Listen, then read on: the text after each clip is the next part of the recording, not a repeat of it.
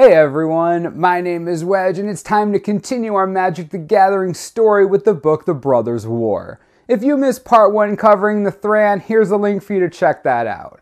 Trust me, you'll want the backstory. Also, remember, I will prune out details here and there. The main goal of the series is to get you the primary plot points without meandering through the details for too long. Anyways, we fast forward through time from where we left off with the Thran. While this time period is different, the story takes place pretty much exactly where the Thran did geographically. Enjoy.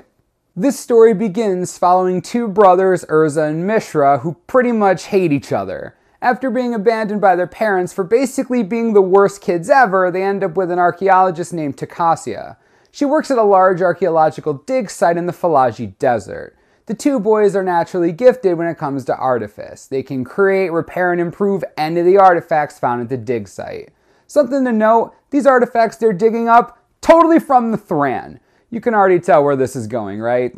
Anyways, while there are plenty of artifacts, they have no power sources. Not only that, but knowledge of power stones seem to have died with the Thran. One of the artifacts they find that actually works without power stones is the Ornithopter, you know, the zero cost artifact creature. It's how meta. Urza fixes it up and soon after starts flying around the desert. On one of these trips, Mishra and Tocasia accompany him. They are forced to land and take cover in a cave due to a giant bird, the Caves of Koilos. As they explore the cave, they discover an ancient Thran device with a large power stone embedded in it. Urza and Mishra start fighting over the Power Stone and it explodes into two pieces falling out of the machine. The device shows signs of life, but nothing meaningful happens. At least, not right then. Urza and Mishra continue to fight over who should get the entire Power Stone. They discover that Urza's half strengthens machines while Mishra's half weakens them.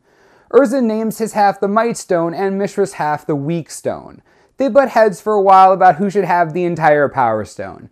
Mishra can't handle it anymore and violently confronts Urza about the entire situation. They begin fighting using their power stones, which shoot lasers. Tocasia tries to intervene, but it's too late. The entire camp explodes around them. Tocasia dies, the rest of the archaeology team dies, everyone's gone. Completely freaked out, Mishra runs away as fast as he can and the brothers part ways, each with their respective half of the Power Stone. Mishra kicks off his away time by immediately getting captured and turned into a slave by nomads of the Fallaji Desert. We'll leave him be for a while. Urza finds his way to a city called Kroog in the country of Yotia. In this city, the warlord or king had a gigantic statue made in his own image and put it in the center of the city. The first man who could lift the statue would be allowed to marry his daughter Kayla. For some reason, the statue is at least a couple thousand pounds and nearly as tall as some two story homes. Anyways, Urza quickly gets to work. He creates what we now know as Urza's Avenger. He then uses this machine to lift the statue in the center of the city without any problem at all, and boom, weds the warlord's daughter. Because, you know, the ladies love a man who can build things to pick up other things. If only life were that easy. Am I right? Back to Mishra. Using the power of the weak stone, Mishra slowly climbs the ranks of the Fallaji. He also uses his weak stone to tame a dragon engine he finds, making him and the Fallaji more powerful. Mishra takes on a female apprentice named Ashnod, known to be a sadistic genius and beverage aficionado. Urza also takes on an apprentice. His name is Tawnos, and with his help, Urza helps Yotia and Kroog thrive. It's at this point that the Fallaji nomads in the country of Yotia really just can't live side by side anymore. The Fallaji have taken over multiple cities, and to be blunt, Yotia is just plain sick of it. A peace summit is held. Representing Yotia, Urza goes to the summit along with the warlord of Kroog, Kayla, and his trusty Avenger. Representing the nomads, it's none other than Mishra. Naturally, he's riding his trusty dragon engine, which, you know, is a universal sign of peace. As you can imagine, the talks don't go very well. To be fair, this doesn't even have to do with Urza and Mishra seeing each other again. It went poorly, most likely because Mishra dumped a bag of hands on the negotiating table when things started turning south for him. The Yotian response to this was declare all out war. Urza's machines kill a ton of Fallaji. Mishra destroys Urza's Avenger with the Weak Stone. Urza's pretty upset by this, so they start fighting with their laser rocks again. Mishra is forced to retreat and the battle ends. Mishra and Ashnod travel to the caves of Koilos where Mishra had been before. He finds the portal to Phyrexia and notices more dragon engines inside. While attempting to tame them, he's attacked by none other than Gix. They do escape and close the portal, but we all know how much good that'll do. The war rages on for years and years. Mishra becomes the leader of the Fallaji as he captures more nations using his dragon engines. As the years go by, Urza and Mishra just keep creating more and more constructs to attack each other with. As the war spreads, every nation in Terisiare is enveloped into the chaos. The continent is turned into a giant pile of artifice. Metal and glass are more abundant on the ground than grass or, well, anything natural. Basically, the entire country is a wasteland, is what I'm saying. Anyways, Mishra conquers a beautiful city state far to the west called Terisia City. While there, Ashnod finds a Thran artifact called the Golgothian Sylex that loosely describes an apocalypse or some kind of new beginning.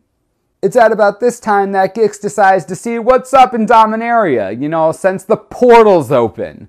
He starts recruiting humans to be part of the Brotherhood of Gix. He uses these followers to infiltrate both sides of the war, hoping eventually to take both of them down.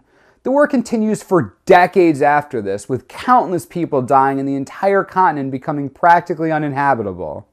It's also probably time that I mention that Urza has a son. His name is Harbin. Trust me, this is how it was mentioned in the book. Urza is the definition of an absentee father. Back to the story. Harbin's out flying his ornithopter one day when he gets into a huge storm. He eventually crash lands on an island called Argoth. This island is full of life trees, flowers, grass, wildlife. It's basically the opposite of everything he's ever seen growing up. Harbin rushes back and tells Urza about the island filled with resources. Gix hears of this and relays the information to Mishra. Both armies collapse on the island, destroying the natural inhabitants. To fight back, the remaining centaur elves and tree folk attempt to create a situation where Urza and Mishra must fight each other rather than Argoth itself.